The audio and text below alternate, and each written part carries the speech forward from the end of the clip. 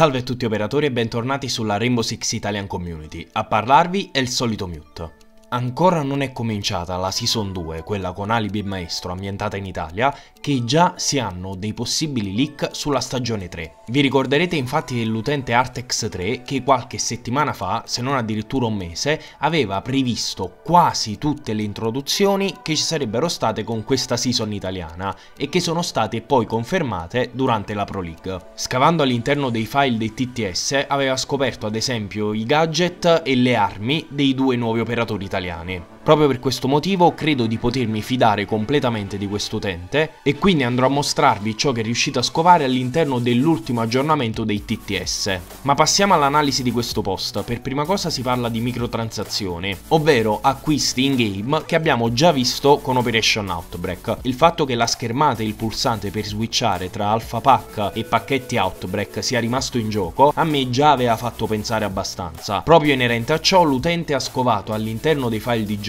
alcune righe di codice che fanno riferimento a Summer 2018, quindi estate 2018, Twitch 2018 e non penso si riferisca all'operatrice francese, bensì alla piattaforma di streaming più famosa al mondo. E inoltre c'è anche un senza nome 2018. Questo potrebbe essere semplicemente lo spazio per ad esempio pacchetti inverno 2018. Anche in questo caso si parla di una collezione completa di set A, B e C e addirittura della conversione dei pacchetti probabilmente questa volta potranno essere rivenduti, cambiati e così via. Ciò probabilmente ci prepara ad affrontare una nuova ondata di pacchetti, come suggerisce Artex 3 vedremo sostituiti i Twitch Drops, quindi i ciondoli che era possibile ottenere guardando le finali della Pro League su Twitch, con una sorta di loot box, quindi si riceveranno probabilmente dei pacchetti da scartare e non saranno identici per tutti. Passando alle cose più importanti, leggiamo finalmente qualcosina su quello che dovrebbe essere il prossimo operatore in grado di distruggere distruggere le pareti rinforzate. Al momento infatti abbiamo solamente Termite e Ibana in grado di farlo, ma la Ubisoft ha chiarito che era assolutamente intenzionata ad inserire un ulteriore operatore in grado di utilizzare un gadget simile a quello dei due Breacher. Questa volta però si parla di Blowtorch, in italiano starebbe per fiamma ossidrica, ed effettivamente quando la Ubisoft aveva fatto questa dichiarazione stavo ragionando su quelle che sarebbero potute essere le possibilità per permettere a un ulteriore operatore di distruggere delle pareti rinforzate rinforzate con metallo, e la cosa più semplice era assolutamente una fiamma ossidrica. Certo è che un gadget del genere richiederebbe un lavoro non indifferente. Immaginate di poterlo usare come ad esempio una qualsiasi arma e quindi lasciando il vostro logo in giro sulle pareti di tutti gli edifici. Mi sembra un po' assurdo, quindi magari si potrà utilizzarlo solamente in determinate situazioni e creando determinate forme. Il tutto però dovrebbe avvenire tenendo l'operatore vicino alla parete.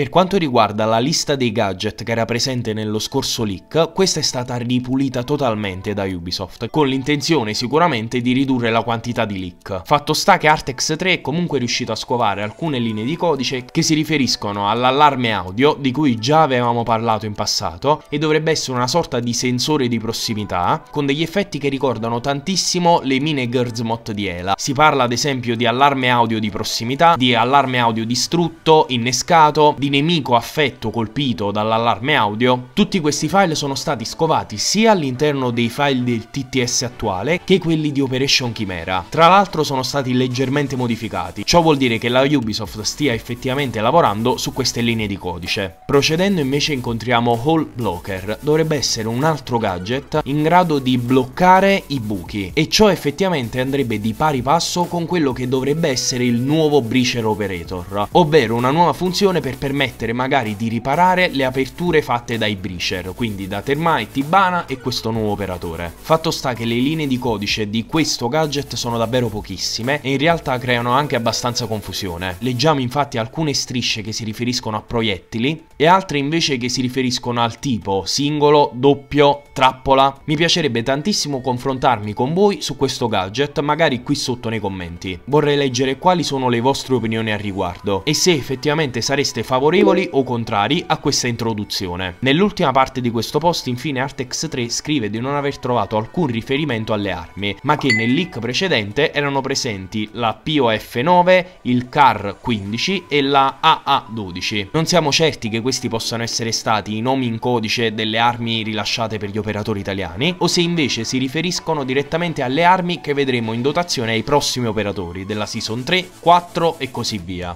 Nel ringraziare nuovamente l'utente Artex3 per questi interessantissimi leak, vi ricordo ovviamente di lasciare un like a questo video e di iscrivervi al canale attivando la campanella, in modo da non perdervi le novità dal mondo di Rainbow Six. Noi, come al solito, ci vediamo alla prossima!